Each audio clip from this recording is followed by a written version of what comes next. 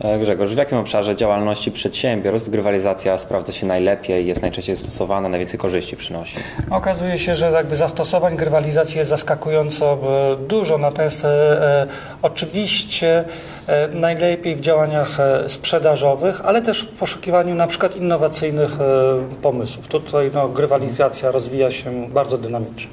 Czy grywalizacja sprzedaży jest nowym trendem?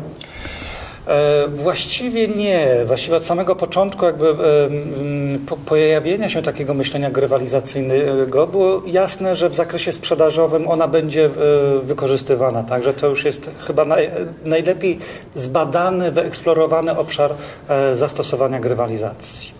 Czy jakieś kompetencje, które można rozwijać w ramach grywalizacji, jest rozwijać nieco łatwiej od innych, a czy jest też jakaś grupa, która jest rozwijać trudniej?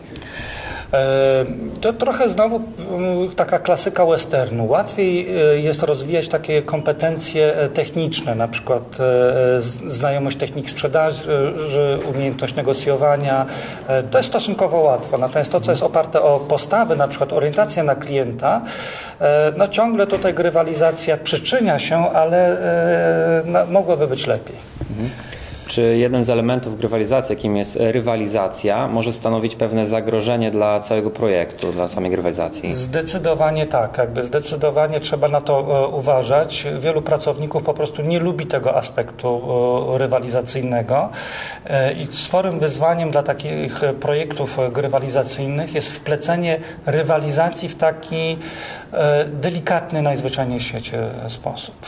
E, Na co powinni zwracać uwagę menedżerowie wdrażający projekty grywalizacyjne w swoich zespołach, w swoich przedsiębiorstwach? Na prostotę. Okazuje się, że im prostsze rozwiązania, tym e, lepsze. Im bardziej złożone, im bardziej przekombinowane, e, tym e, większa szansa na to, że okażą się najzwyczajniej w świecie nieskuteczne.